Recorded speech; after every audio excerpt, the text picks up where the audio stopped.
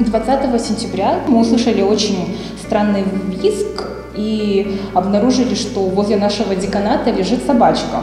Интересно, как она к нам прибежала, сама, наверное, почувствовала, что тут ветеринары находятся. А, мы сразу взяли ее под э, контроль, э, начали проводить медицинский осмотр. В дальнейшем э, было снято около пяти или шести рентгеновских снимков. Получается, нижние две кости были разломаны напополам. Особой инфекции никакой не было, так как она была свежая, мы решили сразу ее зашить. Зашили, сейчас э, собака находится полностью под нашим осмотром, э, как бы ничего ее жизни не грозит. Где-то через 15-20 дней мы планируем уже ее отпустить, так как э, у нее все уже, дай бог, хорошо срастает.